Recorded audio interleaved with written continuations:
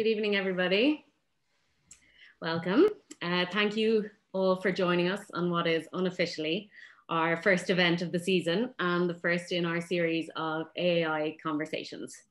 Uh, we're delighted to have here with us this evening Amin Taha and John McLaughlin to share their conversation titled Constructing a Position Ways that Understanding Technology and Materials Enable Architects to Construct Their Philosophical Position. John McLaughlin is a pr practicing architect and senior lecturer in architectural design in UCC. His practice has won many awards, including the RIAI Emerging Practice Award in 2015 and the Arthur Gibney Prize from the RHA in 2019. Amin Taha is one of the founding partners of London-based practice Groupwork, whose work can be characterized by its tectonic definition driven by contextual interpretation. Born in Berlin, he was nominated for the Stirling Prize in 2017 and he also has the unique distinction of being the simultaneous recipient of both the RIBA National Award and a demolition order for the same building. Uh, Amin and John, we are delighted to have you here. Uh, thank you, and please go ahead.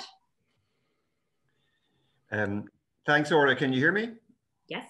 Yeah, great. So um, thank you very much, and um, David, and to all the AAI for the invitation. And um, just maybe to explain a little bit before we start about the sort of background to the conversation. Mm. Um, I met Orla a couple of months ago in, in a different context, and um, it transpired in conversation that we had both worked in the same practice in London, uh, Lifschutz Davidson and Sandilands, and um, not at the same time. Um, but it got me reminiscing about it as I was discussing it with Orla, and I, I, mentioned that when I'd worked there, myself and Amin had worked on a project together, and that's how we had met and become friends.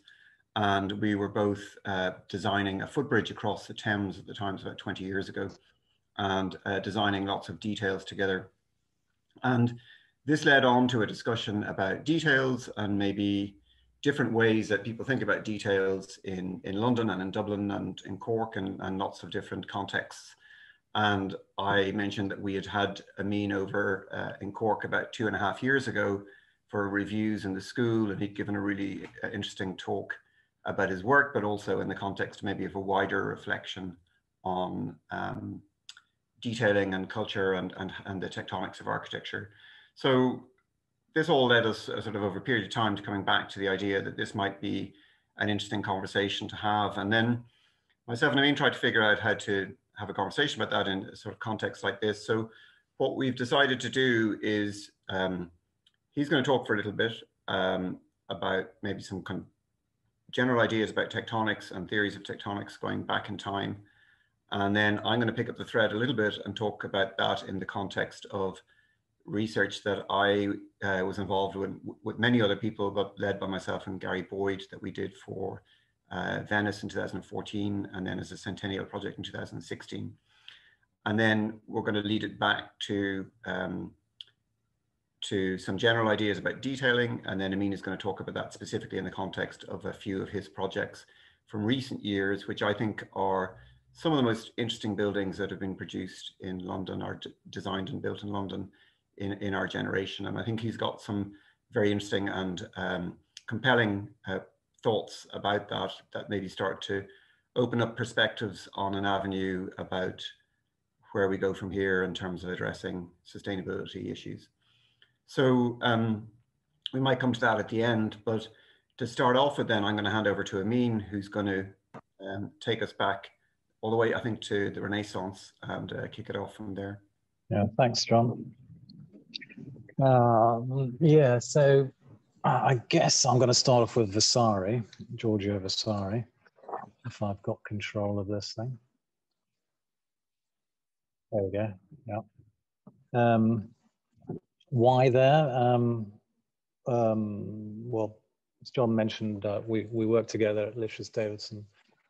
I worked at uh, uh, two to three other practices just before and after. So um, uh, there's Zaha's, Wilkinson Ayres, and others and uh, uh, like all of us who who you know we're not all we don't all spend um, our entire architectural career in one practice. We go from one to the other. More often than not, they do things slightly differently or dramatically differently from one practice to the other.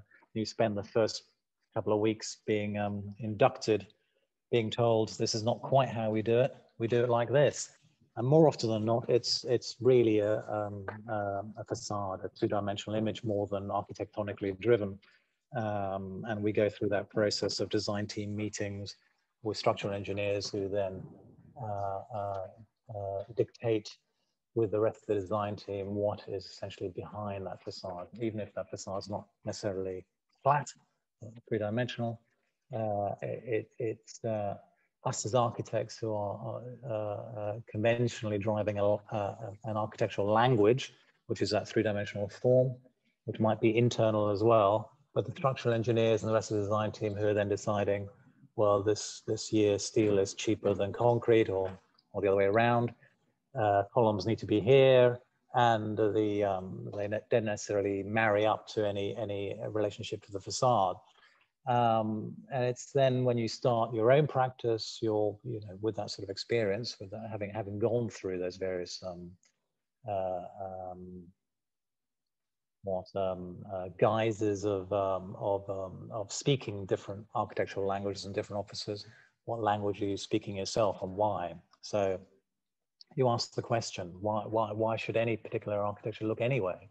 Uh, uh, is it just a, a, starting point of a two-dimensional, if you like, an image, uh, and then allowing others to then um, uh, drive the structure? And is that what it is? Is that ultimately the definition of architecture? Uh, and it, wasn't it wasn't so much asking that question and finding the answer immediately because looking for, for, for an answer that would change that. It was actually a couple of experiences of um, working on buildings where we go through the exercise of what's called um, value engineering. So you sit with the design team after you've gone to tender and you value engineer because no project we've ever worked on. I don't know any project in my career and other practices as well that have ever come bang on budget or even under budget. They're always over budget by percentage and sometimes anything from 15 to 50 or even more. So you automatically do some value engineering.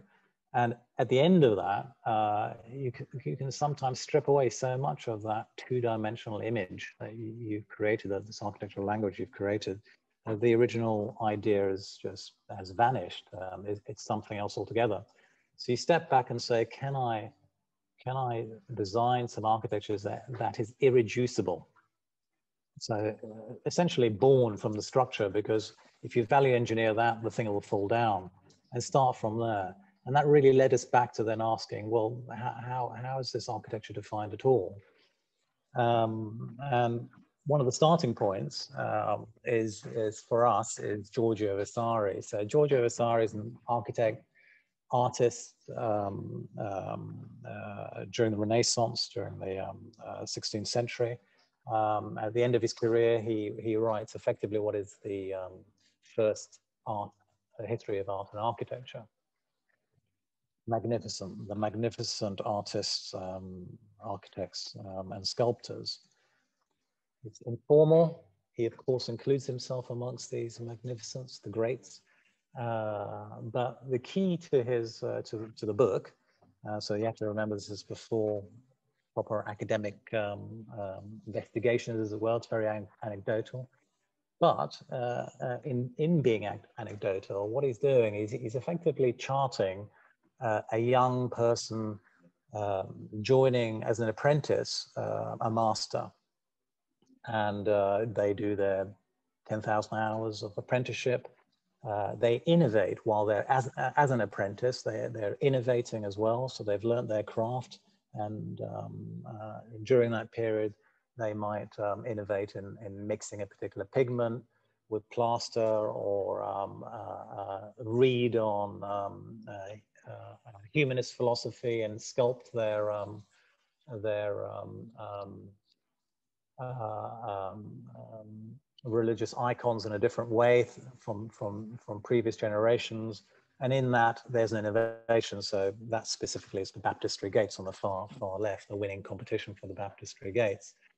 Uh, and effectively what we might today, what we today call the beginning of the Renaissance. And what Vasari is saying that each one of these magnificent artists, architects, and sculptors is innovative. They've understood their craft, they understand their materials, the material properties that they're working with, and they've innovated and and what he calls and there's a debate at the time what you what, how do you define it? The common way of defining it was called the manner the manner of the individual artist painter architect.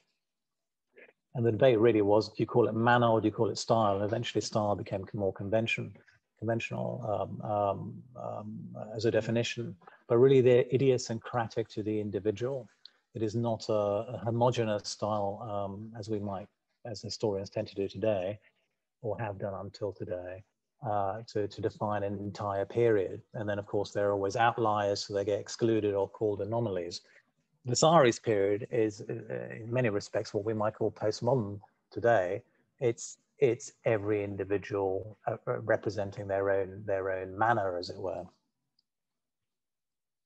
200 years later. So that, that is the, the sort of common understanding for about 200 years until the Enlightenment. We have here Johann Winckelmann, who is a, a, a German proto-archaeologist. So archaeology effectively invents the discipline of archaeology. Before then, you went on the ground tour and you looked at these um, ruins and uh, uh, sculptures and architecture. You might have sketched them in your book and gone back and, um, and tried to represent them. Johann Winckelmann's the first person to actually properly map them in their, in their state, reconstruct some of them. Um, and um, his first book is, is just literally the ancient period. So it's everything from Mesopotamia through Egypt, Greece, and Rome. It's a bestseller. Uh, so he's, he's tempted to write another one. And the next one is essentially his opinions on these. Now, it's the Enlightenment period. And in his opinion, Greek is better than Roman because Greek is ultimately um, a democratic state in his mind, and it's the Enlightenment period. And so he's he's promoting Greek architecture, Greek sculpture uh, for its um, uh, proportions, for its whiteness compared to the polychrome of Egypt, Mesopotamia, and, um, and Rome. And he's saying that uh, they were interested in the purity of of, um, proportions and material because they're a democratic state and purer than the more autocratic or pseudo-republic. Uh, now, obviously, today we know, and, and, probably about within with about 75, 100 years of that, people knew is actually polychrome. But it became so such a strong idea, such a strong image that still today we have, we, you know, culturally, especially in the West, um, uh, we think that um, all these marble sculptures and, and architecture if they were in their original state, i.e. painted, we'd all say, oh dear, how, how horribly gaudy and, uh, and not particularly tasteful. It, it's that, that message is still so strong, even today. And really, Winckelmann's manifesto is very straightforward, judging on a one-liner. If we build like the Greeks, we must build like the Greeks if we are to be as great as them or be considered in the future as great as them and that's really effectively the, the birth of, of the neoclassical age, um, uh, which lasted essentially for another another hundred odd, 150 odd years. Now the the the the flaw with Winckelmann's sort of analysis is that he's an archaeologist, he's a proto-archaeologist come historian. Unlike Vasari, he is not um, an architect or a sculptor. He doesn't understand the material properties of what he's looking at. He's purely mapping them. He's mapping them, redrawing them, and then sending those drawings out as uh, to, to, to be literally copied as his manifesto says. Please copy these elevations, the, this way of building, because that'll make us great. Without understanding how these things actually ever came together, without understanding that they were, they were um, uh, abstractions, stone abstractions of the original timber architectonic, way of putting these uh, structures together. So about 150 years later, uh, uh, that people are beginning to scratch their heads saying, why are we building like this? You know, what, where do these symbols and, and motifs come from that, we're, that we've been building for several generations? Now, the danger, of course, in not knowing how things are built and understanding things as two-dimensional uh, motifs only um, is that you do what we were discussing earlier, uh, uh, talking about earlier on, which is that you understand architecture as an image behind which the rest of the team, the design team, are deciding whether it's um, steel, concrete, etc. And really, you know, there's no harm in, in, in a manufacturer innovating a, um, a, material, in this case, a sort of concrete wallpaper, um, that because you, you know, you've done a brick wash on your lovely um, render of a building, why not? Uh, you know, why should you understand how things are put together? And that's the origins of, of, of what you're looking at. Uh, and of course, today, you know, we can we can create this brick wallpaper or, or create a brick wash without understanding that uh, they need lintels and all the rest of it because you can you can you can just brick wash it and somebody else will work it out for you. Well, the question is, I mean, for us, the question is might might be um, uh, not esoteric, i.e., is the truth to materials or morality in, in, in that truth of materials. It might be more ethical in terms of if you understand those materials, uh, you might work out that you can spend half the quantity of materials, therefore half the cost for the client, or significantly less cost for the client, uh, allowing the client, let's say, for instance, the client is an affordable housing provider, and you've reduced their cost by 25%, well, it means that every fifth building they, they put up, they, they'd effectively get for free had, had they um, uh, uh, uh um, doing it this way as opposed to a more conventional way. Also, less material means uh, less um, time on site, less um, carbon. It's obviously more sustainable. So there are a number of ethical reasons you might um, you might um, give reason to asking, uh, requiring us all to understand what the material properties of, of, of, of buildings are. Material properties that allow us then to decide what to use when and how to put them together. So that Winckelmann was questioned initially by German architects, uh, including this chap here, Gottfried Semper. Now, Germany is again sort of uh, post-Enlightenment period. People are trying to shake off absolute monarchy, and uh, Semper is expelled from Germany at the same time as Karl Marx. And while Karl Marx is in the British Library writing, beginning to write um, Das Kapital, Gottfried Semper is in the in the um, in the British Museum looking at uh, a new exhibition that's come in on Assyrian um, um, uh, archaeological finds. And what he's looking at, uh, what he finds is this uh, uh, throne and stool. And he decides from that, the insight he sees is that th there's a series of motifs and patterns and ornamentation that's repeated as a, from the stool all across this, the Assyrian um, friezes that he sees across representations of buildings, architraves, and so on. And it occurs to him that perhaps the origins of all um, architecture, applied arts, chairs, etc., uh, is the what he calls the the joining uh, and binding of of, um, of of elements. How you join them, how you bind them, abstract that, they become emblematic of a particular uh, culture, uh, and that, em becoming emblematic is what he calls completion. At that point, uh, the, the ornamentation, the motifs complete the architectonic and absolutely represent a particular time, a particular culture. His question, and he's joined at that stage by um, um, Ruskin, uh, French chap called Jules Goury, and um, bottom left, Owen Jones, uh, uh um, I think from Cardiff originally um, all of them asking exactly that same question, uh, uh, the etymology of architecture, where's it originally come from? Uh, and challenging the um, the um, the, uh, the neoclassical age, the idea of that, that things are a pattern book, as, as it were. So this is much more about the architectonic origins of, of, of all architecture they're they're a period of the industrial revolution, but they're they're they're uh, ingrained, as you were, as it were, educated in the neoclassical period, uh, the neoclassical age, learning architecture that way. So they're still struggling of how you might represent represent that. Obviously, in the in, in England, it became the Gothic revival, partly in the same way that Winckelmann um, conflated the, the the Greek with his Enlightenment politics. In England, the Gothic revival was conflated with the Christian religion, where they looked at the neoclassical and said it was um, it was pagan. Why on earth are we building um, Christian um, churches, as it were, in pagan in pagan temples? Let's revert back to the Gothic age, which also was more architectonic, expression of structure.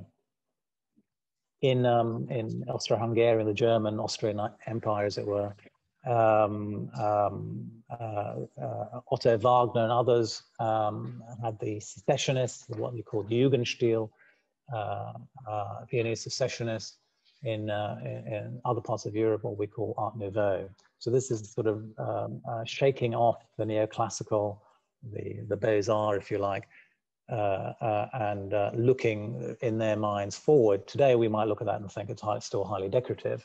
But what you see in the, the images next to Otto Wagner is his, is his post office um, uh, post office bank. And, and there he's essentially picking up on Semper. So his inspiration is Semper, how you join and bind and try and create a, a, new ornamentation that represents the age. Now for him, it was all buildings are clad. Uh, instead of hiding that cladding, let's celebrate the fixing of that cladding with these bolts. Uh, as it turns out, most of these bolts are actually just applied to the outside. They're not actually holding the cladding together, but he's making that point. Uh, below him uh, is um, Henri van der uh, who's in Belgium. He starts off as Art Nouveau, it's, it's, new, shaking off the neoclassical, but he gets simpler. And you can see there it's sort of proto-modern. He then uh, goes to Germany, to Weimar. Uh, he, he becomes the director of the School of Art there. And while they're adopting these ideas of, um, of uh, of um, shaking off the neoclassical, if you like. They're also adopting William Morris's um, um, um arts and crafts. Now in German it's called the Werkbund. The idea is that you begin to join art and the applied arts, uh, industrial design, uh, architecture together. Uh, and he begins essentially, he's, he's commissioned to start the, the Bauhaus. Uh, First World War breaks out and he's not allowed, he's Belgium, he's not allowed to become director and he he um, recommends Gropius, who becomes the original director.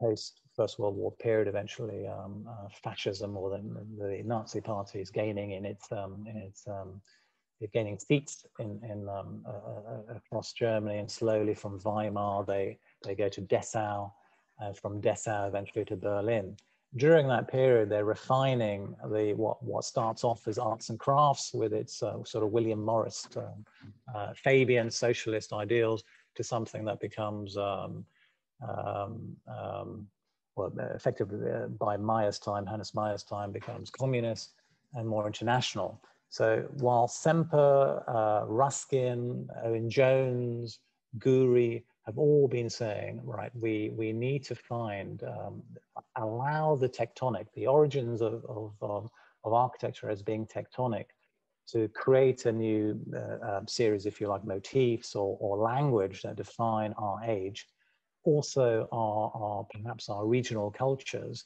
By, by the time that um, Gropius and Hannes Meyer are maturing with the Bauhaus, it becomes much more international so it's still conflated in many ways, in the same way that um, Winckelmann and Ruskin are conflating um, um, the Enlightenment or, or, religion respectively. Here they're conflating politics. In this case, it becomes a sort of socialist politics conflated with the, the modern movement, um, having sprung from, um, from um, William Morris. Um, and then, of course, by Mies's time, the fascists have completely taken over Germany and Mises left in a sort of taken over factory and having to close it down by 1933. Um, yeah, I think I'll, I'll, I'll, I'll, yeah, that's, I think I'm going to leave John to take over from there. So I'm just going to see if um, I can control the screen here. Um, this might take a second. We had a little bit of a delay earlier when we tried this. Here we go. So um, I suppose overlapping with that and maybe a point of intersection between what Amin was interested in and what I was interested in was this idea of sort of clothing buildings with these kind of national costumes. And the idea, particularly with the Beaux-Arts, um, that there was a kind of fundamental type of architecture and then somehow that got clad in national dress. And I suppose particularly around that time, the early 1900s, this kind of interest in national identities and the identities of place, and um, how a lot of that is quite superficial. It's a kind of an application. So you see here the Quai des Nations for the Exposition Universelle in Paris in 1900, and how in a way this kind of festival architecture or temporary architecture um, continues um, and um, sorry, I'm just having a lag here on the controls.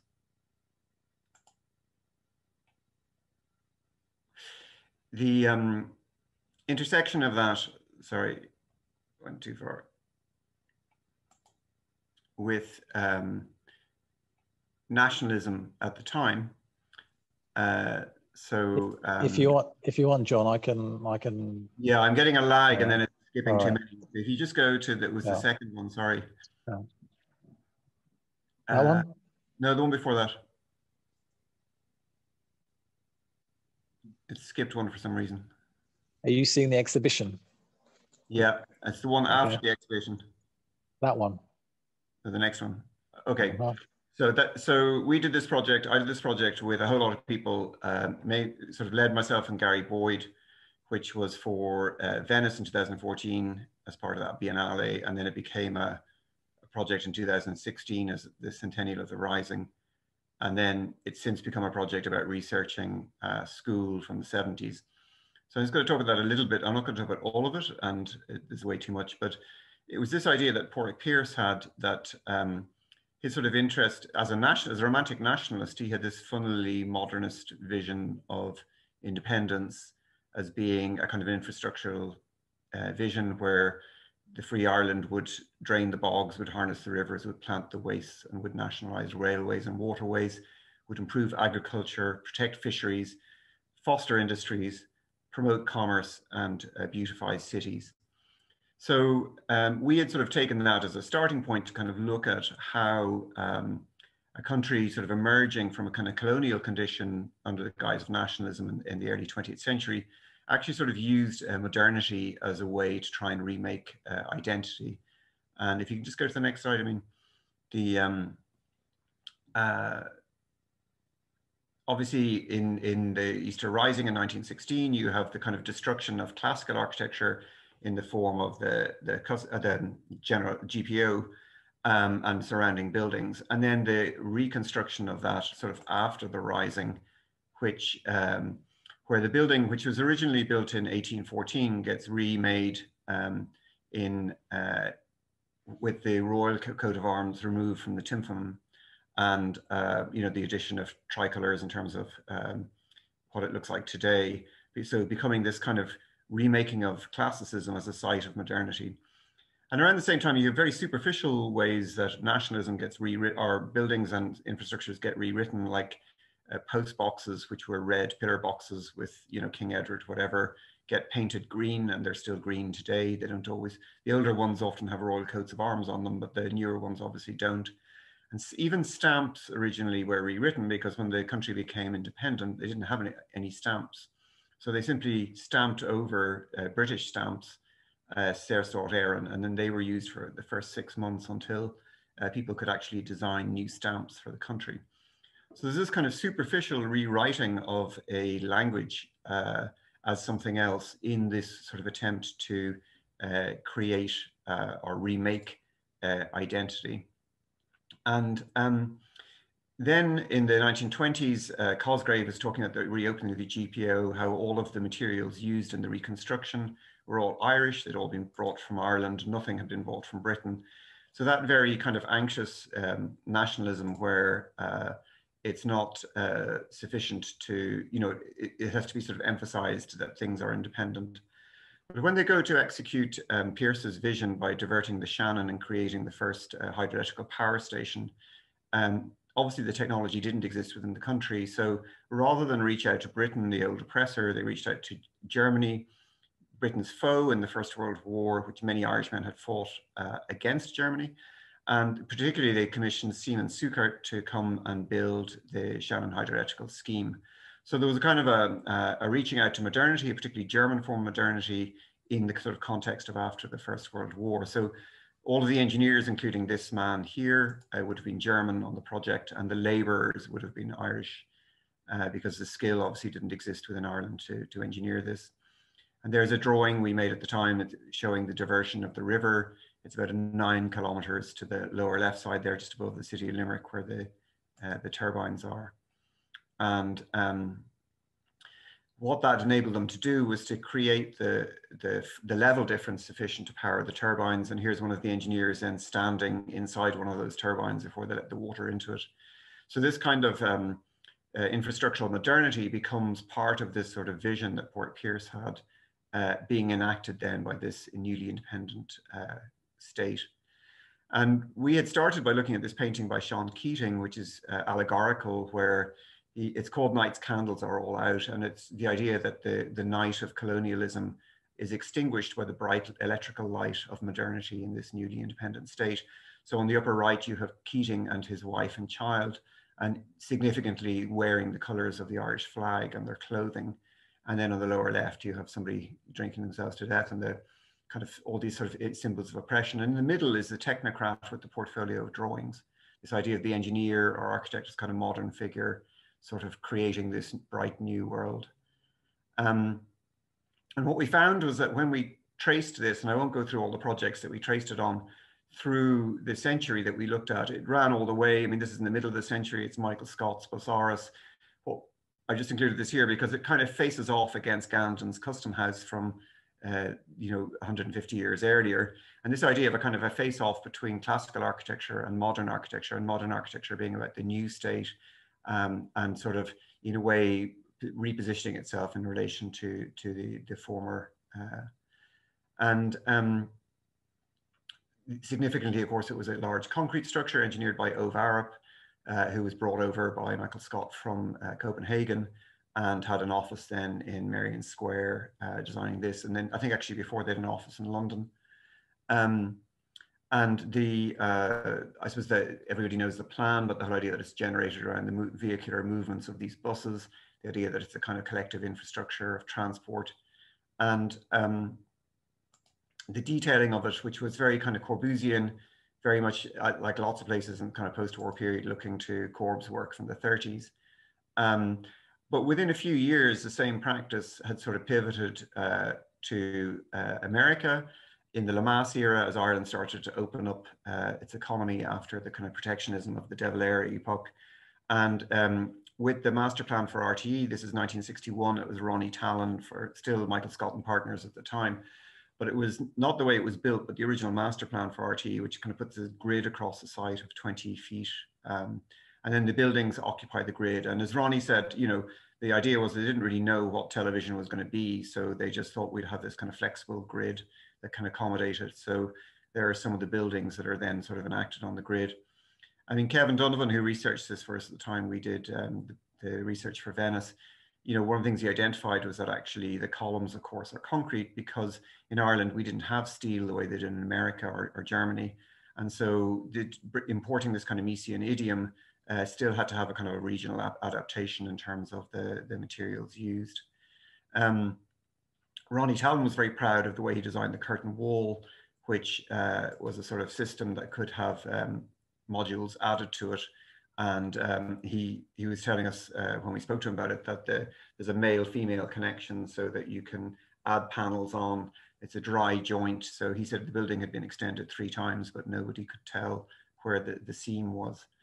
And then a sort of um, a next generation in a way was Peter and Mary Doyle. Um, and I think particularly Peter, who had gone and studied with Mies in Chicago in the early 60s. Mary had worked with Michael Scott and partners. And then in the 70s, when they um, set up their practice, having uh, been premiated in the RAI schools competition for this bill, which eventually became this building Birr School, um, they sort of adapted this kind of Miesian idiom to a much lower uh, budget, but also to quite a lot of the ideas from Team 10.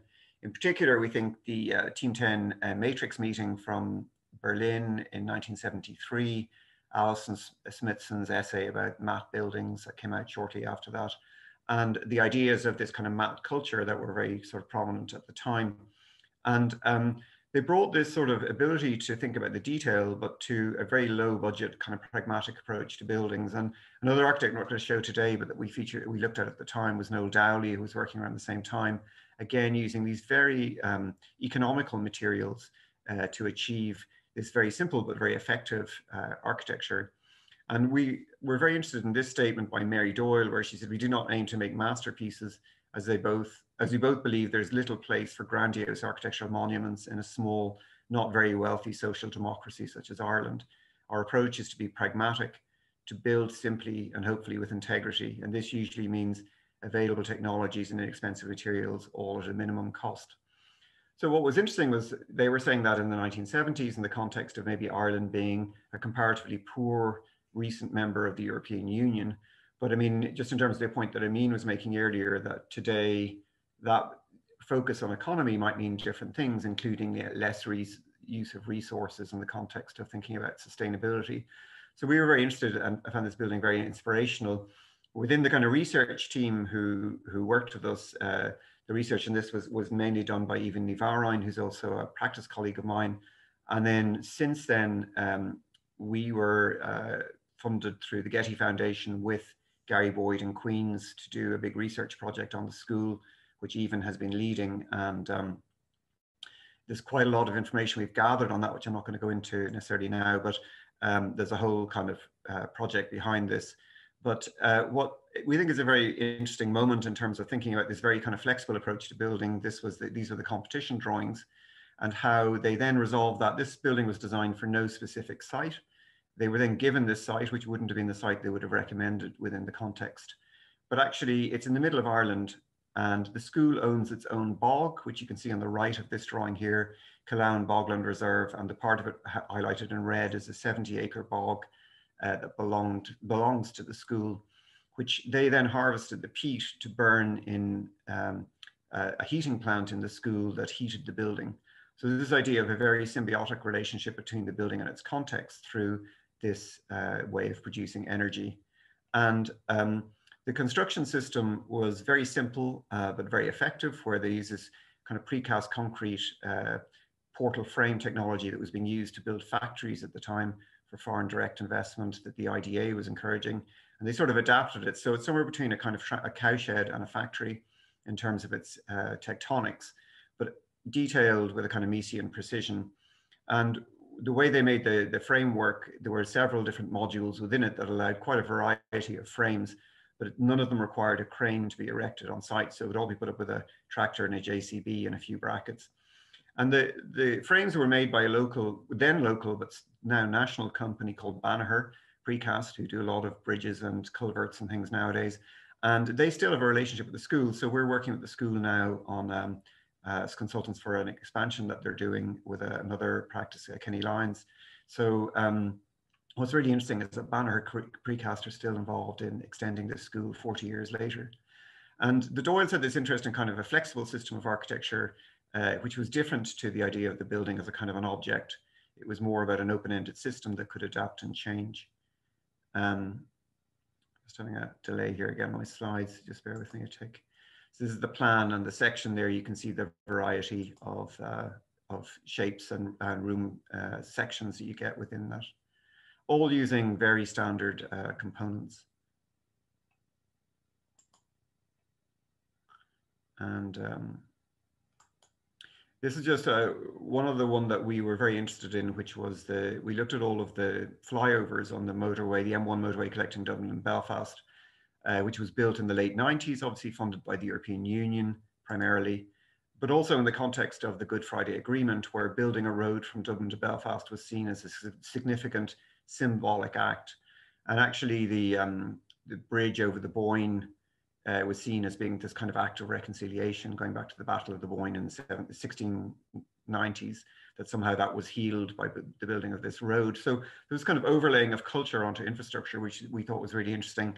Grafton Architects worked with Roughan O'Donovan engineers on the design of all of these. And um, uh, this is the, the one at Dublin Airport, it's the flyover. And the pillar for the, the bridge across, of course, is inspired by the tail of a, a Boeing aircraft. So this is kind of idea of mapping the, the visual identity of the roadway. You can see it there catching the sun in Ross Kavanagh's photograph onto the, the concrete structure. One of the things we really noticed uh, looking at the whole kind of 20th century in Ireland was how much of the construction used reinforced concrete. This is a rebar detail that we got from Roughan O'Donovan's. It's quite interesting early AutoCAD drawing from the, the late 90s. And um, what what we sort of saw is, I mean, the, the, the, concrete lobby has always been very strong, but also the fact that we don't have an indigenous uh, steel industry. Um, and then the last one is just looking at the, the, the M50 uh, motorway around Dublin and how that's become a physical, a host to the physical presence of the internet in terms of all these data centers that have come to Ireland. We originally thought that they were here for tax break reasons, but when we researched into it, we discovered that it's actually much more to do with the climate And um, data centers give off huge amounts of heat from the servers inside them. So uh, the biggest problem or the biggest expense in running them is actually keeping them at the right temperature. So the read an interview with the main engineer from Microsoft who had designed this was the first data center Microsoft built outside of the US. It's in Ballycoolin. And uh, he said, you know, in Ireland, we put in the air conditioning, but we hope to never have to turn it on.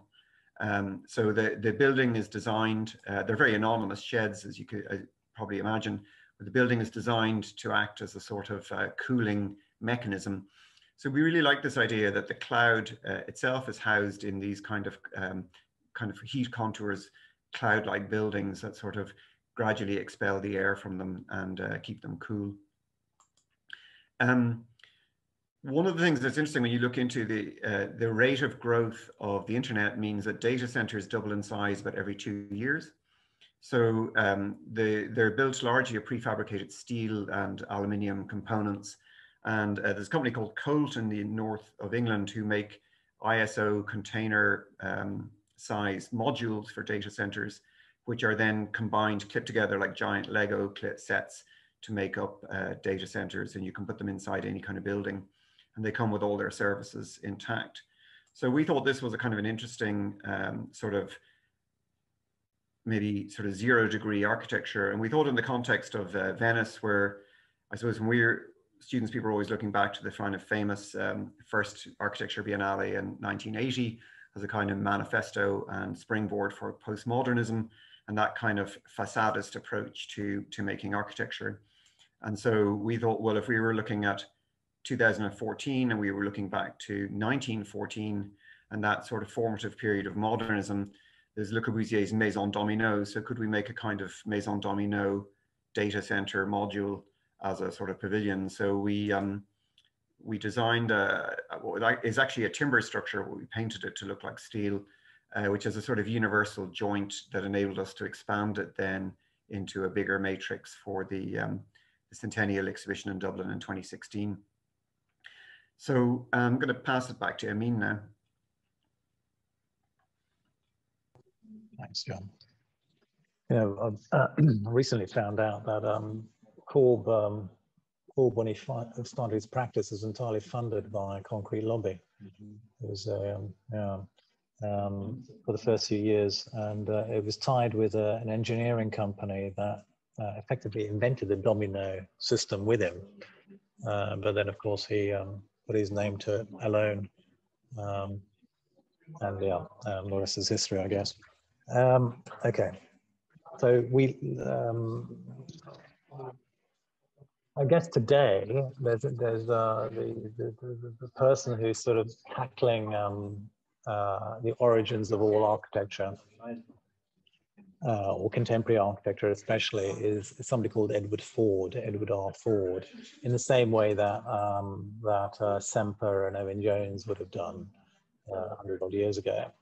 Uh, and now what, what, he, what he's done is essentially tackled the, what he calls the modern details, or the um, late 19th century, 20th century series of details. Um, one of them is, is uh, Nice there. So he, in his opinion, there are five types of details that he, he thinks are common to all um, contemporary structures.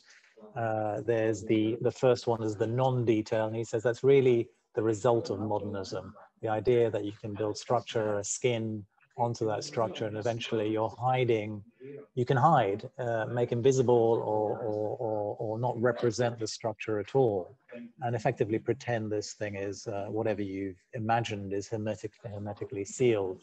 It's a perfect uh, unit. And of course it isn't, is it? It's all made of panels and you, you try and make those joints as, um, as small as possible and silicon seal them and all the rest of it, but they're really still joints. Um, uh, so there's that type of detail. He says called the the non-detail, and we can imagine plenty of buildings uh, as, as ex examples. He's not necessarily being disparaging. It's not it's not about necessarily being disparaging about different types of buildings, but he's really defining. He's all all he's doing is defining for us how uh, uh thought processes on details um, are defining the architecture and whether they have any relationship with structure at all, whether they should do, whether the people who are thinking about them should be thinking about them, and perhaps they shouldn't. Uh, second type is what he calls a motif, and you might decide that that's more sort of early 20th century. It's, it's effectively the beginning of modernism with people like Louis Sullivan who are taking the idea of, um, of steel frame structures, cladding them because it's the you know, industrial revolution and uh, mass expansion, economic expansion in, in the States. Uh, they're building, uh, trying to build uh, population and economic growth is, is, is, occurring faster than they can build. So really steel, steel prices come down, becomes incredibly cheap. Steel frames are cheaper than anything else. Uh, bricklayers, stone masons are still expensive and too slow. So terracotta cladding, and he's really taken the idea of, of, of um, decoration, ornamentation as defining the architecture and defining the new age. Uh, the third type is um, representation of structure, construction. Now, uh, so that's typically Mies, um, uh, an example that John uh, uh, uh, described earlier. But really what's going on is that there's a curtain wall that's attempting to express the idea of the structure that's behind there. So it's not necessarily the structure itself. I mean, for, for various reasons, we know that Mies couldn't necessarily express the structure there, mostly for fire reasons and weather reasons. But then there's a point where you um, um, try and express that structure and really you're faking it.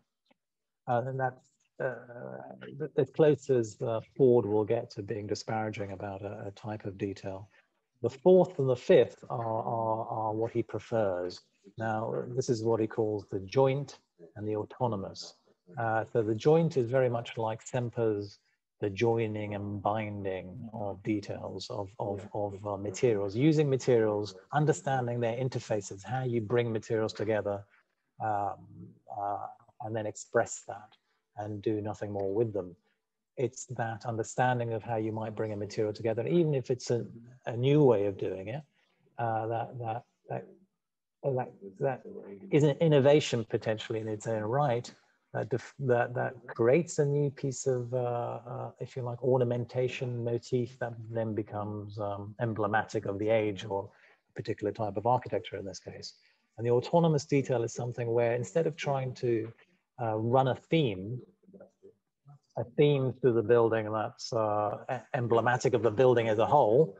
Uh, the detail uh, such as handrails, handles are, um, so he uses Kahn, Louis Kahn's typical handrail, which is not necessarily somehow emblematic of the entire building, but it's, it's an autonomous detail in its own right that is attached and can be subversive to, to counterpoint the overall, as it were.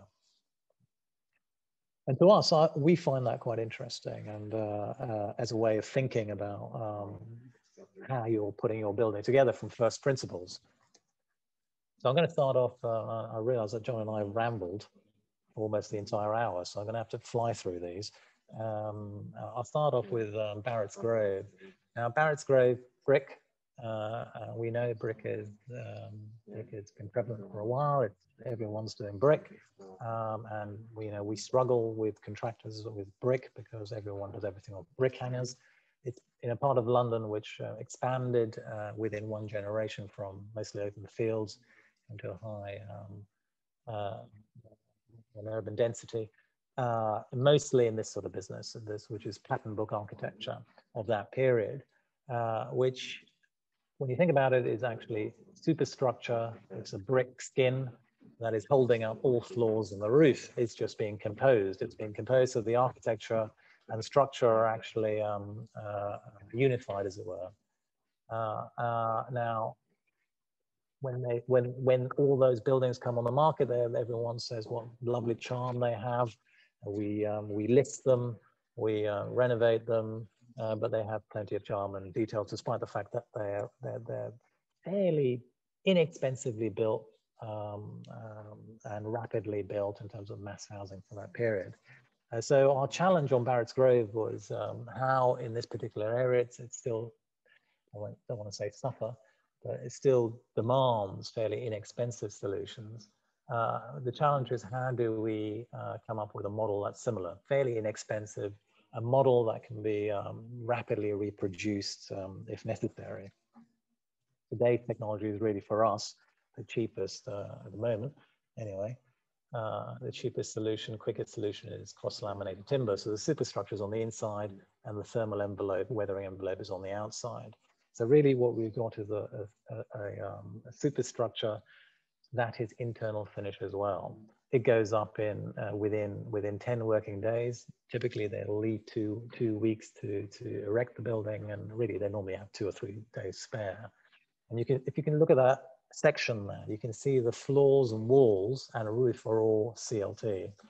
Uh, uh, insulation, weathering, and the rain screeners on the outside. Now, typically, in a brick building, you'll have what's called a brick hanger at every floor. That's basically picking up the brick uh, uh, per floor, transferring its load back to the superstructure, which effectively means the superstructure is twice as heavy as it needs to be. Uh, and you ask yourself why? Why? What, what sort of topsy-turvy world are we living in where we've forgotten that brick can hold itself up? We can't use it to hold up the superstructure anymore because then we'll get cold bridging. Uh, and so we obviously can't build in the same way as they, they did 100, 150 years ago, but it can certainly hold itself up. So it can be what's called a self-supporting facade. So half a brick thick, uh, uh, you know, the, the, same bricks that were made couple hundred years ago are able to hold themselves up. They don't need to be high density engineering bricks or anything. Uh, they don't need to have any special mortars in them either. Uh, so half a brick thick, up six stories, uh, and it just needs to be held back to the um, uh, superstructure to stop it falling into the, into the street. The advantages, apart from lightening the load of the superstructure, is that the two can move independently, contract and expand, move independently. So you don't need any expansion joints either, no weep holes, no hangers. You suddenly get rid of lots of um, extra material, trades, uh, similarly on the inside by allowing the, the CLT superstructure, which is timber, to be the finish. What's wrong with timber? Well, most, most agents will tell a client, oh my God, how on earth are you going to sell a Swedish sauna in a conventional market that expects um, white painted plasterboard? And when you point out to the client, he saved himself about 25% of the budget because he's not having the material, uh, uh, he's not having the labor, and he's reducing his overheads, premiums, and profits on the program from the contractor by saving about four months on site. The client will often take that and uh, and then test the market with it. And of course, if the market doesn't want it, you can always get the plaster borders in or just paint the whole thing white. As it turned out, he uh, he actually made a premium on this because uh, they're strangely well, I shouldn't say strangely, should I? There was a demand for um, for, uh, for for that sort of thing as opposed to the white, the conventional white painted plasterboard. The lesson we learned on this was that in that innovation, persuading the client to save 25% of the construction budget, it gave him an extra 10% profit, as it were. Uh, now, the conventional finance model uh, for construction is uh, on the left. So what the bank will call um, risk money is effectively the client's profit. So should the market collapse by 25%, the site hasn't gone into negative equity. So obviously it has to be dropped quite dramatically before it does. By making that innovation, our client made more money, obviously. Now, uh, ultimately, if everybody did that, on the left, what you'll see is uh, the financial model doesn't change in terms of financing it. Uh, so the risk money, the profit stays the same, which effectively erodes um, because of the construction um, cost is eroded uh, which effectively means that the land value increases. So as architects on the right, if we carry on innovating, and the private sector basically means all you're doing is increasing land value. So hypothetically, we could reduce the construction cost to next to zero, and all you've done is increase land value because the financial model in private sector won't change. So really, it's only the public sector that will uh, uh, benefit from those innovations. Now, that last project is uh, is uh, is uh, uh, tectonics for the purpose of mass construction, quick construction, while trying to retain some charm in them. Uh, at Clerkenwell Close, uh, we are in a conservation area, Islington's conservation area number one. So this is the first one they decided to highlight as a conservation area. And somewhat ironically, everything you're looking at on the close is 20th century. So post-war 20th century is 1970s, uh, 80s, 90s uh, um, yeah, um, uh, uh, conservation area number one had a guideline with it saying everything is predominantly brick. And of course, it becomes a self-fulfilling prophecy. Everything has to be brick, therefore it is brick, and uh, therefore you should do more brick if you're new to the area, uh, and that's it. So most people just read the conservation area guidelines and go no further back or, or bother interrogating them. We thought, well, we, we, we know the area, we've, we've worked and I've lived here for some time. It seems a shame that we're literally just reading one or two lines of conservation area guidelines uh, by a conservation officer who's not an architect, who's not an architectural historian, highly respected, but, um, but you know, why should we stop there? Let's, let's find out what more there is to the area. So just north of the city walls is Smithfield. Uh, you might be able to see my icon. There's Smithfield Market, where um, people got hanged, drawn, and quartered, as well as um, animals being butchered. Um, and north of that is is, uh, is an abbey, an Augustinian nunnery. So outside the city walls, it is built by the invading Normans. So up till then, there was nothing in this area. Um, and the, one of the companion barons, um, de Briset, Jordan de Briset, uh, built a nunnery here and then an abbey, uh, a monastery uh, south of that.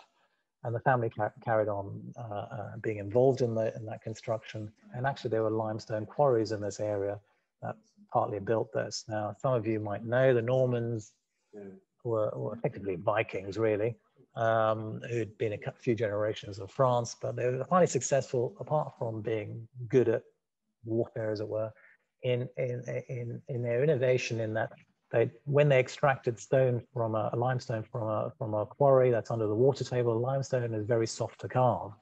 Uh, you, you build your fortifications with those, you key your stones together, and within six months, a year, they set incredibly hard. They calcify and become very hard, and your fortification is incredibly strong. So you, you, you, you acquire your land, you build your fortification, and you maintain it. And they introduced that technology, as it were, to, to, to England after their invasion. The, the, the, um, I'm going to be try, trying, trying, trying to be quick here. The, um, so this is all about context and how context might drive the choice of tectonics, the choice of materials to define the architecture. And that's basically research we're doing while we're doing the boring stuff, which is laying out whether bathrooms and living rooms are, and bedrooms fit on the site with adequate um, daylight, uh, environmental conditions, and all the rest of it. We're just doing this in the background just to allow, before we make decisions, allow these ideas to orbit our mind and then slowly crystallize, as it were. So on, uh, the, the Abbey uh, flourishes for 500 years until Henry VIII dissolves it. On the top left is um, uh, Duke of Norfolk, who turns the abbey into his private palace. His son falls out with Elizabeth I, is beheaded, the land is taken from him. His palace, pseudo palace, come Old Abbey, is partly demolished, handed out to nobles who build their private palaces on them.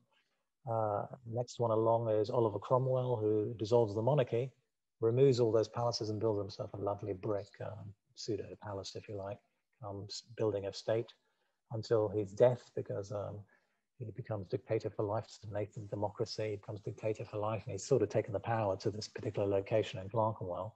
And on his death, monarchy is restored. The, the, the nobles with their deeds come back out, waving their deeds, and Oliver Cromwell's palace come, building estate is demolished. There's a lot of sort of, if you like, um, history that's um, uh, mostly demolished under our feet. And only the street patterns tell us that history. Uh, William Morris, so the, London obviously industrializes, becomes incredibly um, dense and wealthy, and then in some areas very poor. And this particular area becomes uh, uh, uh full of what uh, Dickens calls rookeries, slums. William Morris takes part of it. You've got the printing presses here as well as those slums. And you, William Morris takes a building, which is that bottom bottom um, center, and turns it into what he calls the 20th century press, as obviously during the 19th century uh, for whom Karl Marx writes. So you remember Marx and Semper have come along uh, having to flee Germany. Uh, Karl Marx writes for, the, for this proto, effectively becomes a communist uh, newspaper. Lenin joins, uh, uses it for his Russian language paper. And to this day, this building now still exists. It's called the Marx Memorial Foundation. It's directly next to ours. Uh, and from, from to this day, the Labour Party will start its um, uh, May Day marches from. So we're in that context. Uh, we're not quite sure, you know, what we do know is that up to the uh, post-war period, it's full of radical ideas. Those radical ideas are, are represented in, in, in the architecture. they, they are removed and new buildings are erected. There's no, there's no, no one's being shy or, uh, or reverting to a nostalgic past and imagine nostalgic past as our conservation area, area guidelines are suggesting. So we use all this information to make certain decisions. And on, on our site specifically, we weren't on, a, on part of the limestone structures, the formal buildings, we were actually in the uh, stables and servants' quarters, which are all timber. And we thought, well, let's be slightly literal and and uh, and and have an exo, just like a half timber structure, have an exoskeleton in in um, uh, that supports the structure. With our engineer, we used a piece of software. And for those of you who are interested in or can pick out a sort of parametric or AI software, this is AI self-learning parametric software, which you seed with an idea and uh, you essentially script an idea into it, saying, be like a half timber structure, except what we want to do is take all the metal that would normally be associated with a, a metal frame structure and all the curtain walling and see whether you can optimize, i.e. reduce the amount of metal and turn it into a, um, an exoskeleton.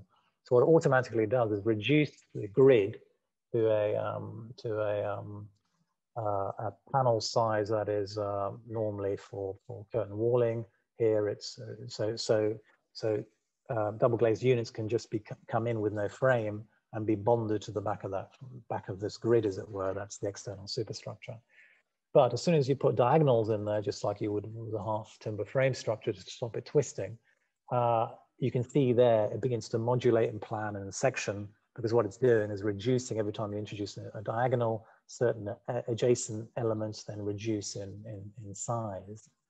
Uh, we presented the history uh, and why, the reasoning why we came to this idea to the case officer, who, who was very much on board, he was very enthusiastic, uh, and said, I'm going to recommend for approval. I just need to consult the conservation officer who's brand new to the borough. He's come from English Heritage because English Heritage is sort of post-risk, post-financial um, crisis. English Heritage has fired a vast amount of staff. So he's new to the borough. He's never, doesn't know planning. I'm trying to hold his hand this chap suddenly arrives through the front, sort of the door of the meeting room, stands in the middle of the doorway saying, I'm really busy. Uh, I'm trying to cope with so many different applications. I've got no idea what you're, what you're talking about. You know, I tried to read your report. I've got no idea what you're report, talking about, but I've read the conservation area guidelines and they say use a predominant material. And as far as I understand, the predominant material must be stone because the church is stone. Opposite the church opposite you is stone. I had to correct him, of course. The church is mostly brick. But he said, look, give me a stone building and I'll, um, I'll give you approval, and then just left. My conservation uh, our case officer was highly embarrassed and um, I'm rambling, aren't I? I'm completely digressing, John, I'm sorry. Um, um, case officer was highly embarrassed and said, look, oh, let's just battle it out to committee. And we said, no, let's, um, let's take up the challenge of building in stone. Because normally this is how you build in stone, obviously. It's going back to that sort of how we understand a two-dimensional sort of Winckelmann approach a two-dimensional understanding of a piece of architecture and let others then innovate with materials behind or make those decisions that have nothing to do with the actual um, two-dimensional form. The structure can be um, anywhere you like and whatever you like. Uh, and again, it's those questions, are they esoteric or are they ethical? And for us, it was uh, partly uh, uh, uh um, uh, ethical, as in um, why on earth would you use so much material? But also, I would say, I, am slightly joking here when I say laziness. You know, why on earth do we want to draw all this information when you can draw it much simpler using just a simple column, as it were, all in stone? Is that possible? We asked some some stonemasons we were working with, uh, French stonemasons, because they're still highly trained in structure as well as um, decoration. Uh, we tend to just train masons for decoration alone for restoration purposes. So they have no idea about superstructure. In France, they do. And they said, come to France. It's called austerity construction because it's cheaper, uh, was cheaper after the war than steel or concrete until steel and concrete became, became more prevalent, ubiquitous. Uh, so we went to France, found out how stone is extracted from a quarry. It's fairly inexpensively extracted nowadays with machine tooling mostly, still some hand tooling occasionally and you will get three types of finish when you uh, when you extract that piece of stone. The saw cut in the middle, the um, the, the sedimentary uh, layer, so the natural what they call the natural cleavage, and then to the left, the drilled cleavage. And because it's a sedimentary stone, you'll get fossils in there and occasionally quartz pockets. And for us, we realized, well, that's, that's one, it meets the budget.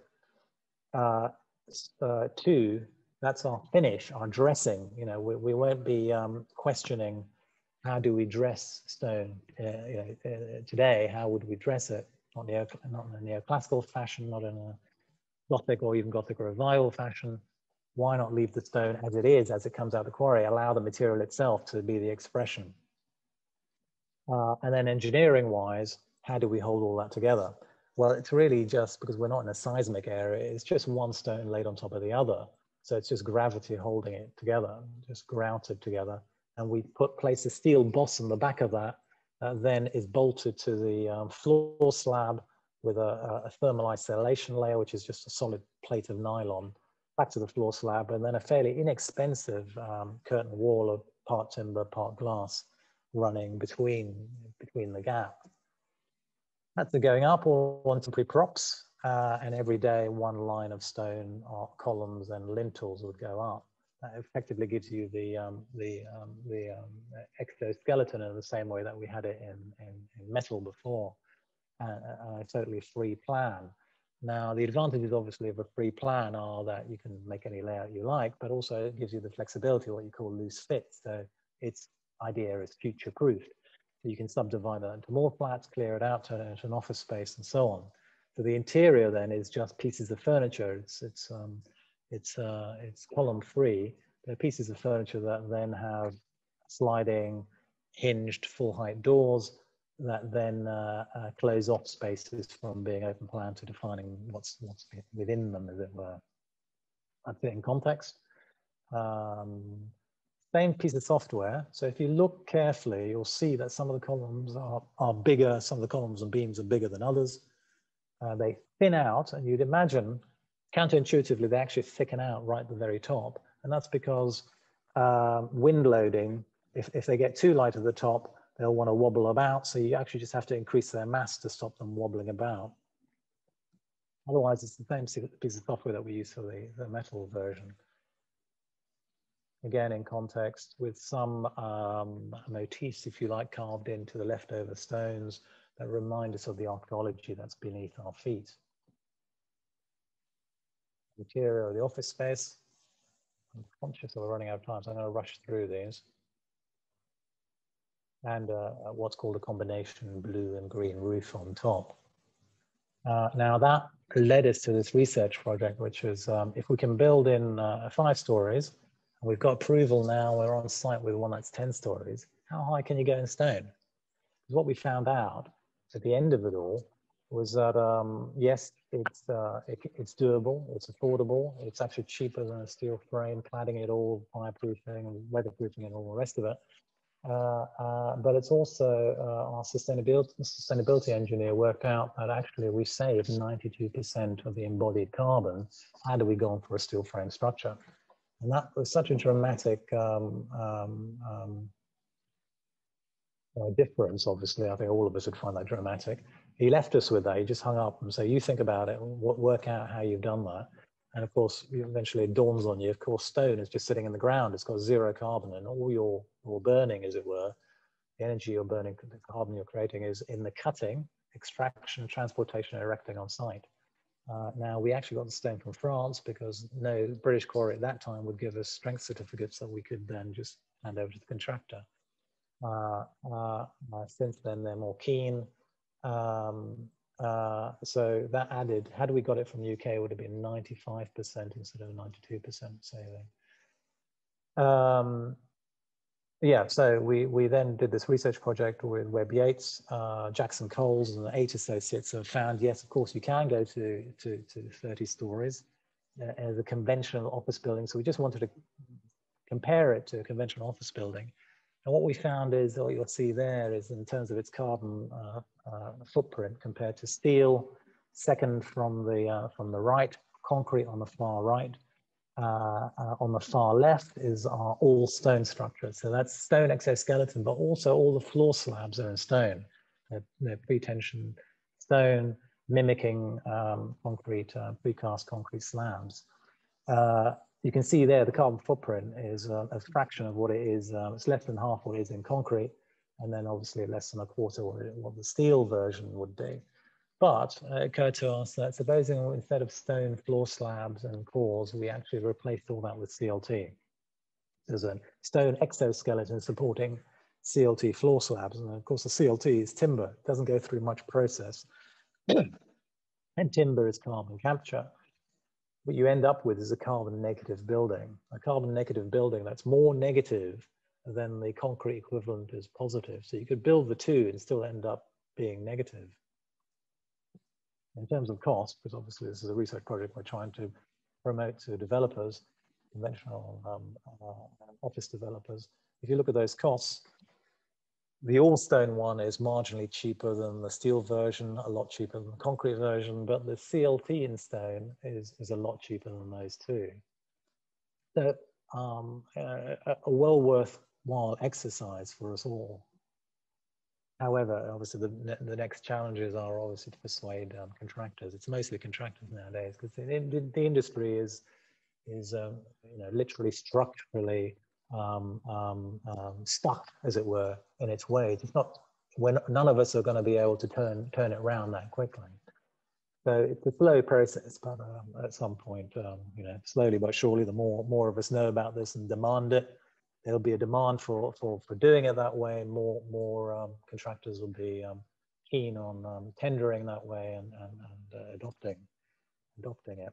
So those two projects are uh, architectonically driven and express uh, uh, uh, uh um, um, um, for, for, for reasons of mass, mass housing and the other one more cultural in terms of its history.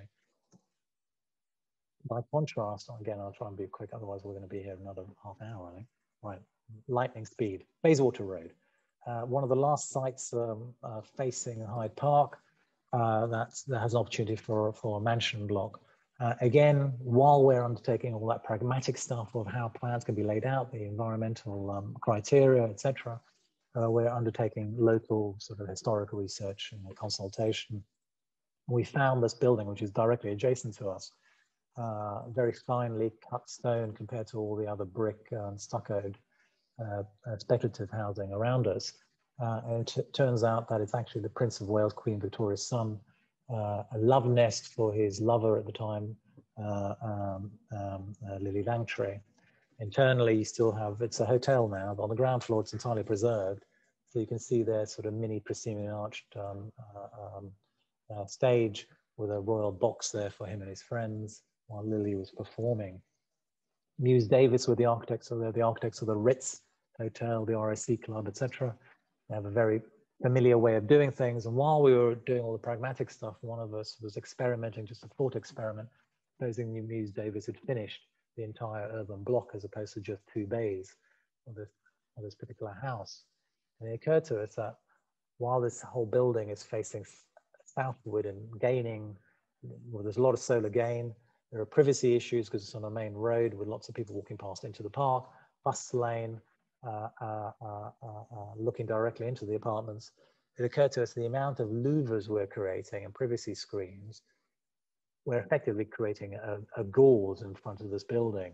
And, and uh, at some point it crystallized in one person's mind, why, do, why is this gauze not a mirage of this Mewès Davis imagined uh, uh, uh, completed end block, which then is articulated to give you full, full views out otherwise dropped when you want to, to have some privacy and, um, and full solar shading.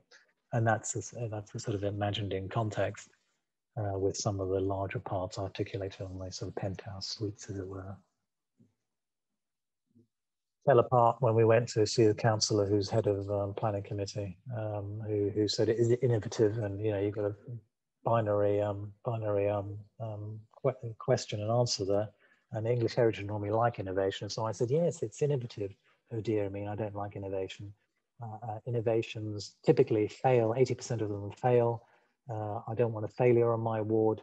Come up with another idea. So um, yeah, so that, that whole thing died. However, it was about 15 years ago, that project. We came across lots and lots of sites where, where we thought, well, it's a good idea, this because we're, we're, we're sort of looking at nostalgia. In that case, a sort of imagined fake nostalgia, uh, uh, but nostalgia all the same um, for the potential occupants of that, of that building.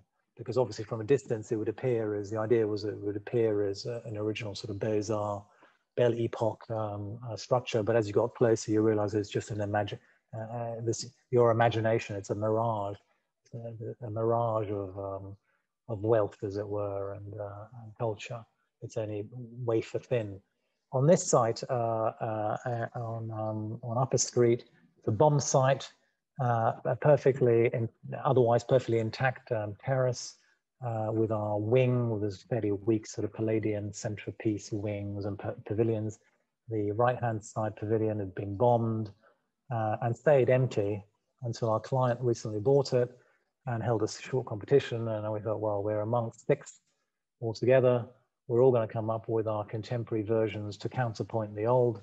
Uh, we quite like the idea of rebuilding the old uh, for to question uh, uh, this desire for nostalgia because it's Islington, we're directly opposite the town hall, and we know what conservation officers are going to be like there. They'd be really keen, they'd be really super keen on the idea of um, literally rebuilding uh, what was there on site, except with um, a, a sort of more critical look at the idea of why do we like old architecture as a culture, old, uh, uh, why do we have a nostalgia for it? And really, it's, you know, be brief, it's the idea that um, uh, looking to the past is like looking looking at a monument. You strip down a narrative, an idealization. You strip away all those things that you you don't like, uh, and um, and create this monument that's meant to be this ideal. Obviously, uh, you know, especially contemporary now, we're we're we're, we're more more aware than ever that monuments tend to be flawed, fundamentally flawed from the outset. Um, and uh, so we were quite keen on choosing a material that would express the flaws in, in, in, constructing monuments that have an ideal of the past, in this case, a reconstruction of what had been there. We chose a terracotta cement. If any of you have worked, and most of us have tried, with fair-face concrete, it doesn't want to be perfect. Clients are absolutely convinced that you know it can be perfect. And all of us struggle. You end up spending a considerable part of your fair-face budget uh, uh, having uh, repairs or touching up done at the end to, to, to, to take out the grout loss or whatever imperfections the, the, the, the process actually wants to do. We thought, well, let's just allow those errors to occur. So here you can see it's the shell is the monument. So it's a cast hollow shell and internally it's entirely a warmer material. It's CLT super, uh, internal superstructure of floor plates and stair core and then uh, mostly timber and partitions and cabinetry, etc. Uh, the wall is um, a twin wall that's tied together that is then the superstructure that holds up the floor plates. Have to test that, uh, and we had a very a couple of very friendly contractors who were willing to test that and uh, can convince the uh, design team that it's all affordable uh, uh, I won't go too much into how we demonstrated that, but obviously it was, we marched on with it. There's the detail of the twin walls tied together uh, and the CLT then just held up, sort of uh, held up from that bracket that's cast into that wall. Uh, uh, and then layers of acoustic and um, services on top of that so you can leave the, the, um, the soffit exposed. that's it in its context today. Uh, and you can begin to see there as we get sort of closer to it, where the translation from the, the, the survey we took of the mirror opposite, uh, uh, cleaning that up, translating it for the routing tool, there are errors in that. The routing tool has errors. The formwork has errors. There are grout loss. And then because some of it wanted to be a bit more perfect than we expected, we deliberately placed some, some bits of formwork as if they arrived on the wrong day upside down and so on uh, internally then casting what would have been there in terms of dado rails, cornices, skirting boards, and even wallpaper. So the anaglypta wallpaper was pasted on, given a release agent, and then you got quite sharp um, casts of that. You can see there the interior then is just uh, is uh, is all CLT and timber oak uh, with a apart from the fireplace and uh, integral staircase. Uh, and then the outside is then the this um, the, the, the new inhabitants, as it were, are rudely punching through their existence through um, through this old monument, as it were, or rather this um, imagined uh, past. That's concluding there. That's all. Thank you. Thank you very much. That is quite the journey. Sorry, I've rambled on. I, I suspect that we've lost most people. You, but that's absolutely fine. Yeah, it's fantastic. Uh, thanks to you both for speaking with such um, sophistication on how we build things, and and I mean for showing your beautifully conceived projects that, uh, that give me hope for how we might build in the future.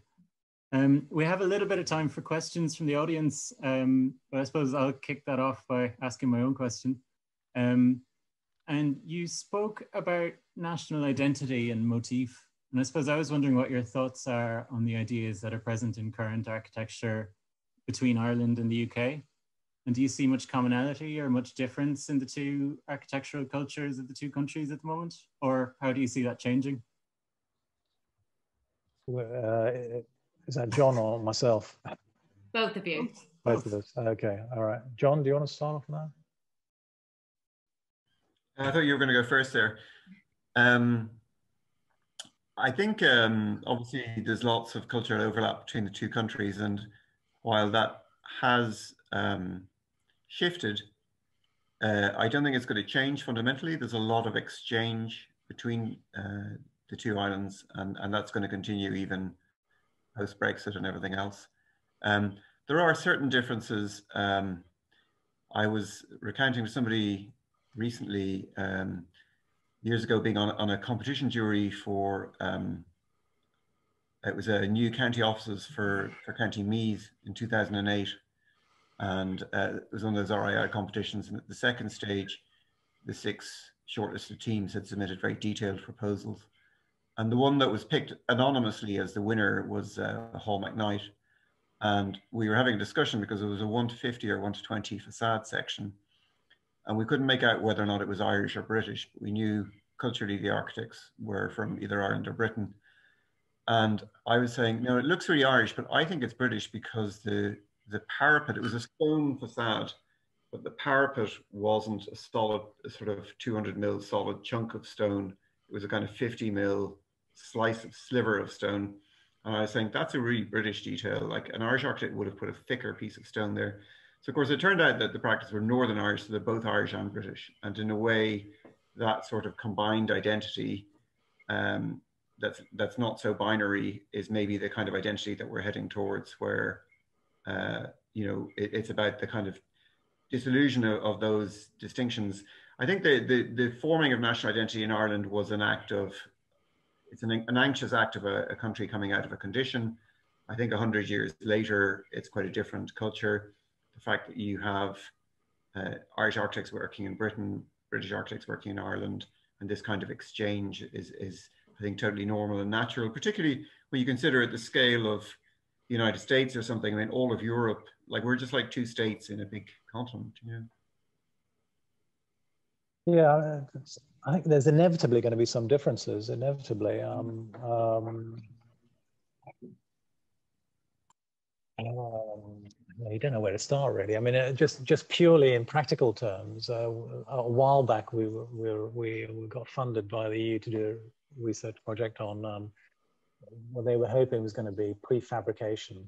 Uh, I think you know ultimately they they expected us to come up with a prefabrication system, uh, and we've you know every generation tries to invent, invent reinvent that that particular wheel. Uh, uh, we um, we spent the money on on doing a bit of research on on uh, everything that's already prefabricated because it occurred to us there's probably already a lot of prefabrication going on. And of course, it turns out everything is already prefabricated. It just hasn't necessarily been collated into one manual. And this is um, early. It tells you how long ago it was. It was a sort of early Google period, and we thought we discovered Google. We'll use Google to to do the research, help us do the research. And uh, uh, what we found was that in Northern Europe, prefabricated walls um, um, uh, and floors and structure uh, were often timber. they could be sandwiched, so the insulation could be in there, all the services could be in there, but obviously window systems are prefabricated, uh, bathrooms, uh, kitchens, staircases, etc. In Southern Europe, exactly the same thing, except in concrete. Uh, uh, stuff is, there's differentiation across different parts of the continent. Um, there's obviously commonality, but that differentiation in, in technology of putting things together is, if you like, a form of identity. That's really what Semper and the others were asking for, saying, how does your technology define you? How does it become emblematic, a cultural, uh, emblematic of a culture and a time? Uh, obviously, modernism decided it was international. So it shouldn't be emblematic. It should be completely uniform, depending on where you are, on uh, with no, no no differentiation across the entire planet. And eventually, we got into. I think we John and I were discussing this earlier got into the idea that there should be some sort of critical regionalism. So there was a reaction against that internationalism, and it should be more regional. And region, in some respects, became, um, a, dare I say, crass cultural motif. So if you're in the Middle East, you might suddenly have your curtain walling art with a pointed ogee arch, and that suddenly was Middle Eastern instead of purely modern. Um, yeah, so I'm, I'm, you know, as a, as a dare I say, as a sort of um, not, not entirely born and well, not born and entirely brought up in this country. You feel a bit, you know, you're conscious of being an outsider, so you you tend to have a sort of critical eye on, on, on what you're introduced to, your context.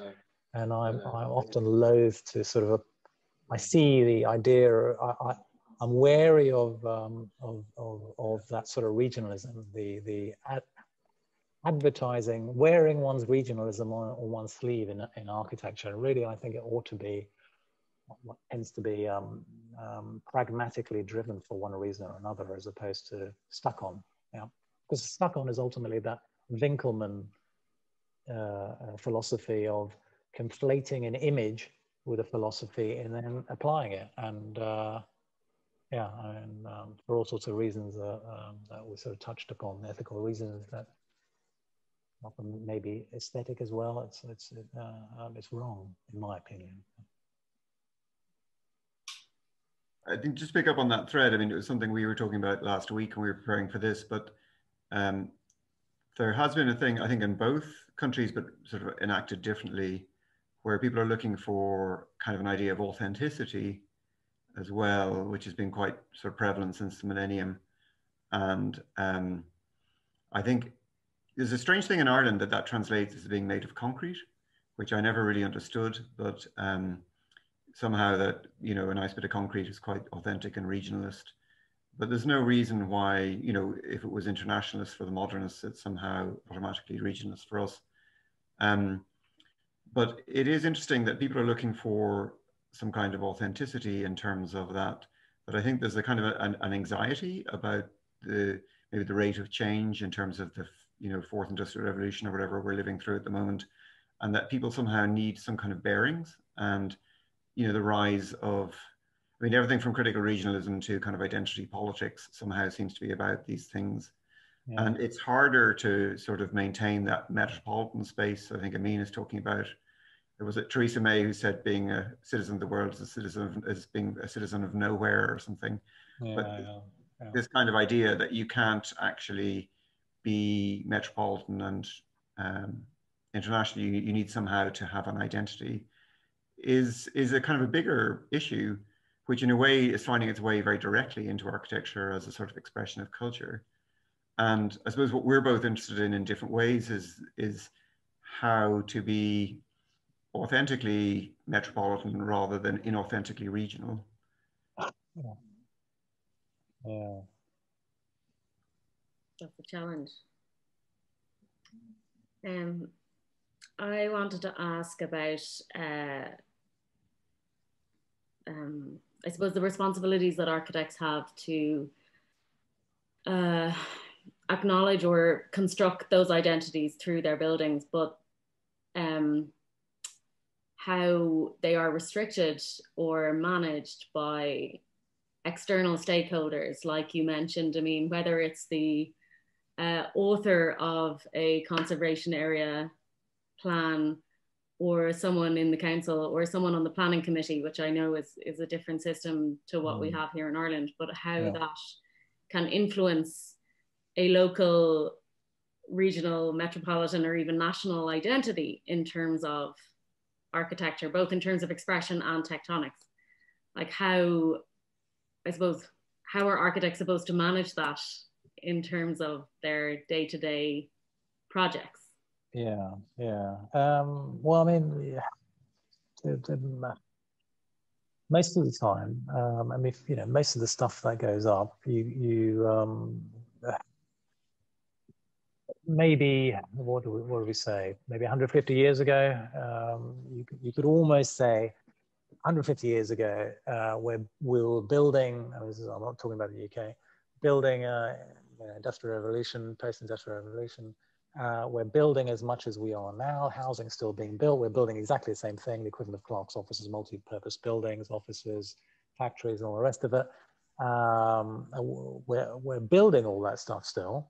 Uh, but in those days, it would have been done by what's called developer builders. You know, so they're financing it themselves, um, and they're building it with uh, draftsmen, uh, in-house draftsmen, often using pattern books. And some of it's called building, good building, good quality building. Some of it you might define as architecture. And architects are, are, are far fewer, aren't they? What's happened today is we're still building all those buildings, but we're not using pattern books anymore. And those draftsmen are all now architects. Uh, uh, so for various reasons, that's what's happened.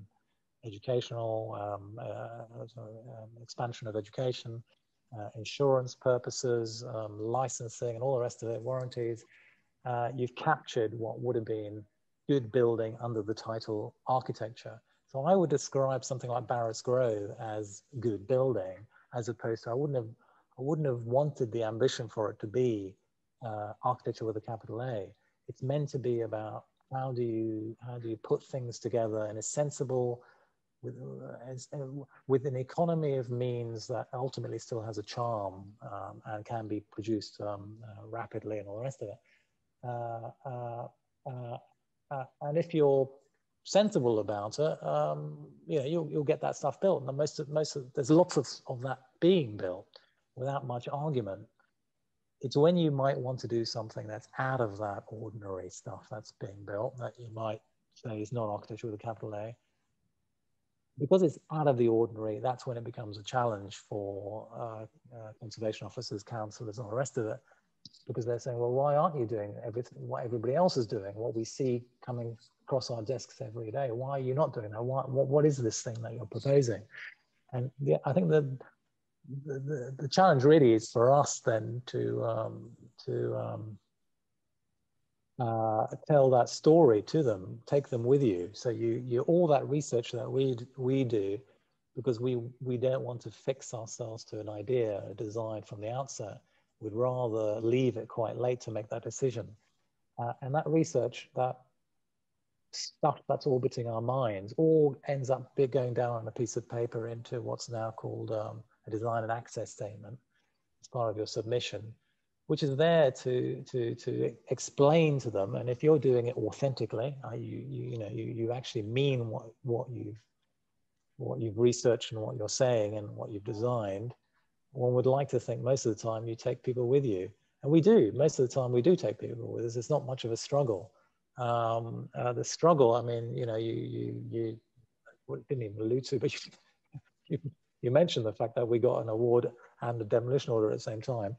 That's basically where a councillor was never involved in the, in the process. He, he didn't even know that we'd got planning or let alone there was a design access statement for him to read. He just had a knee-jerk reaction was, well, I've never seen anything like it. It's, it's, uh, it's an abomination. So you never had the opportunity to understand where it all came from. And he was an architectural technician. So he should, one would imagine he, he should know better. He said, it's all fake. It's all fake stone, pretend stone. In fact, I think he thought it was concrete initially. Um, so it's most of the time we don't we, we, you know you can take people with you relatively easily um, when you decide to dare I say do the outlier idea with architecture with a capital A but the other the other the, the, the rest of it the, the good building should hopefully be fairly straightforward for most of us Has that sort of answered your question, or I? Yeah, a bit. All right. John, your turn then to better um, better answer that. Um, John, do you want to say something or like open? I think if you open it up, or I'm just conscious maybe people, other people in the room who might like to say something. That's great. Does anybody have a question for Amin or John? Just a reminder, you're all muted. So if you want to unmute yourself and then talk, or you can put it into the chat if you have audio issues. The chat. The chat, yes.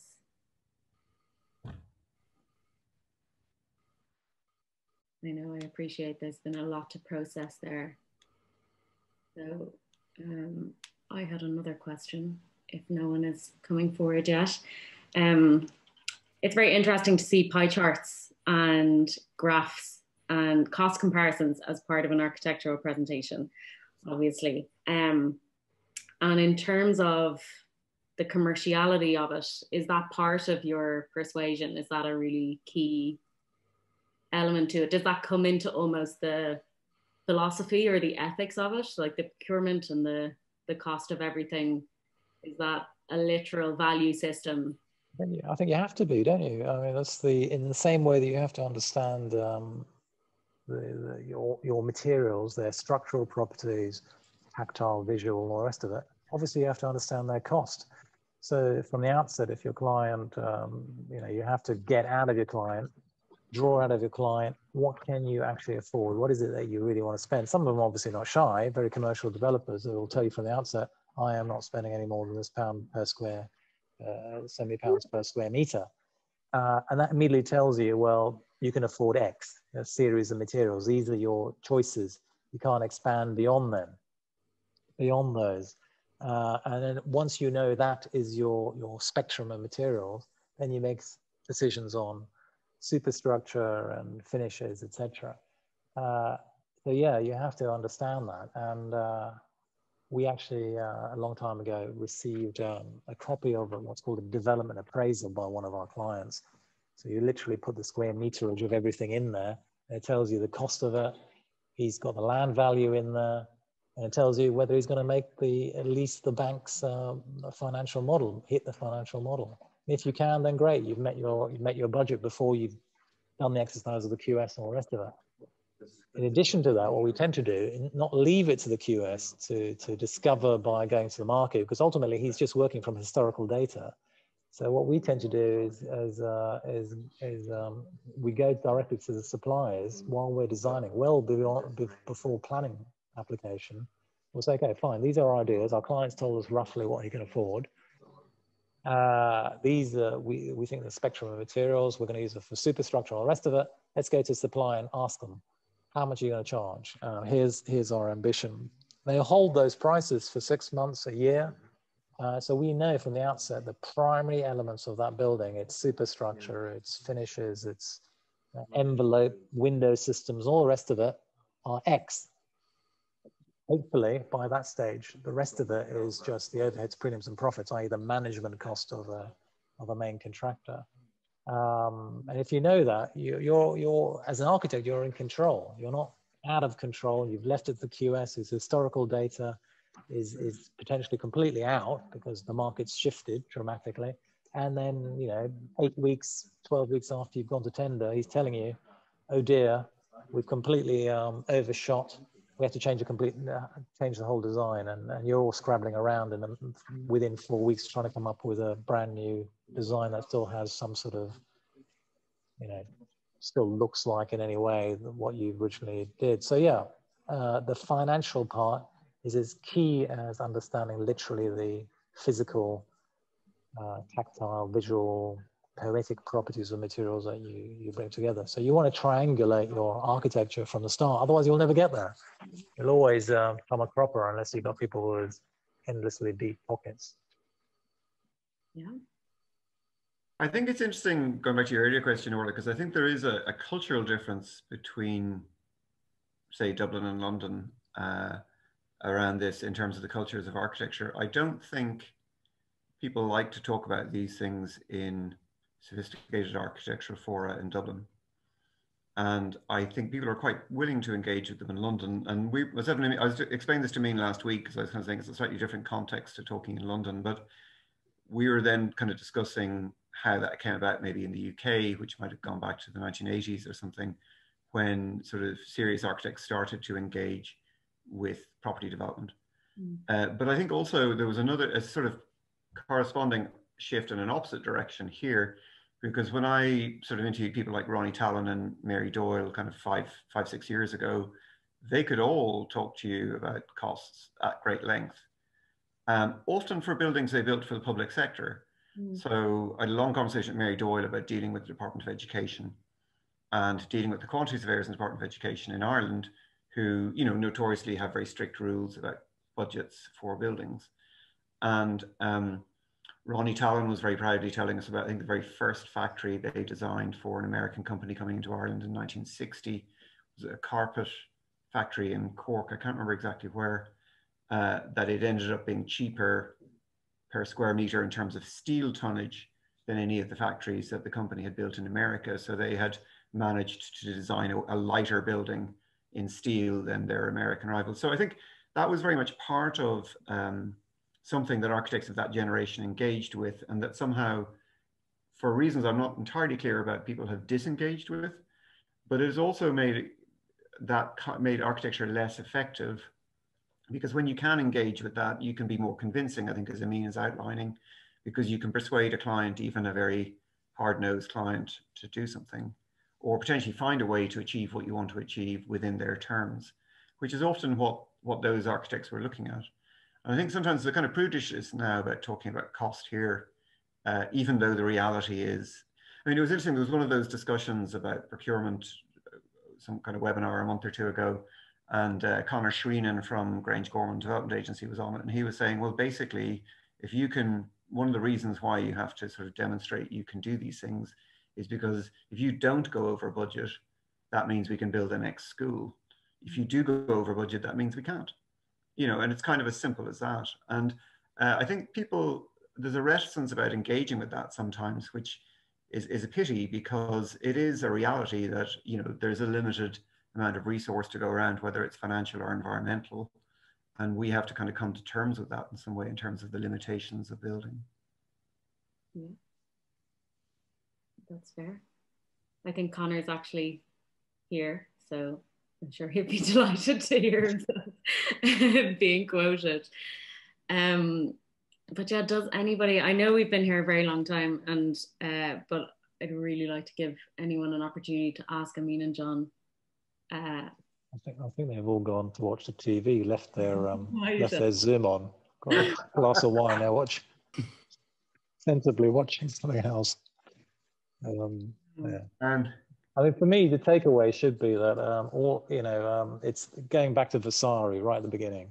You know, uh, as individuals, um, uh, you you you express yourself through those. Uh, uh the, the understanding those materials. So that's an expression of the architecture by understanding the materials you're working with, and obviously understanding your client and all the rest of it, as opposed to trying to um, apply um, um, an idea, an image, then is um, built by someone else. Because the application of that image, really, how, where, where does that image come from? That's the that's the question. The image is, is, is often produced elsewhere, isn't it? We're appropriating it, we've been taught it, might have seen it even in a magazine and, and then just uh, apply it. So if you understand those materials, um, they, they, it, your architecture can be born from them. Yeah.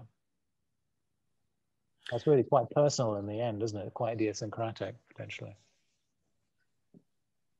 It was a lovely um, thing because he started with the the gates, the doors of the baptistry in Florence, you were talking about Vasari, it reminded me of the story in Vasari where he talks about how uh, Brunelleschi and Donatello didn't win the competition. So they decided to go off to Rome together instead. And they kind of headed off to Rome.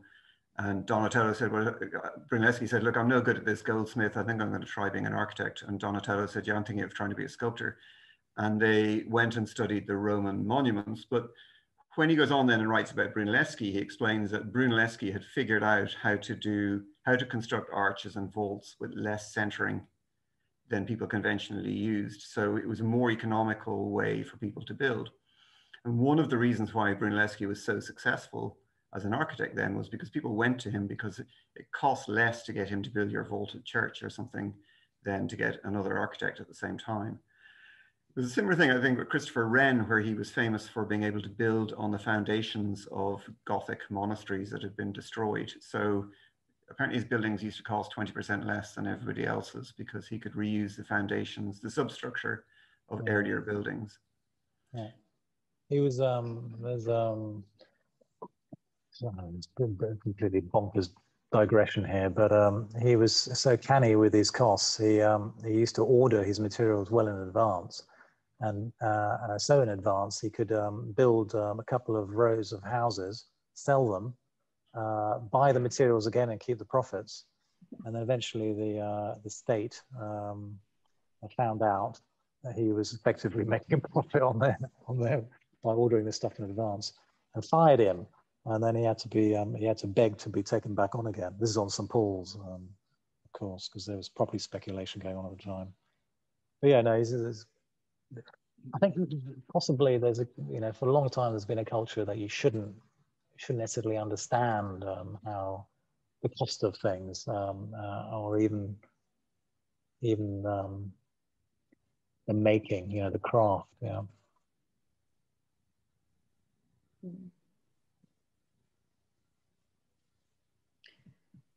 Right. Well, do we want to leave it there? Last chance, anyone? Anybody? no, I think you've. all. They're all overwhelmed by that uh, very in-depth discussion. That is absolutely true. Um, well, I mean, and John, thank you so much. Um, You're welcome. For this evening, and uh, yeah, I think you've given us an awful lot to think about. Um, so yeah, and thanks everyone for joining us. I suppose we'll leave it there. Thank you. Thank you. Bye. Bye. See you, John. See you soon. All right. Cheers. Bye. I can work out how to actually turn this off. Had to get out of here. I know. I'll end it. Bye, right. Cheers. Bye. Bye. Bye.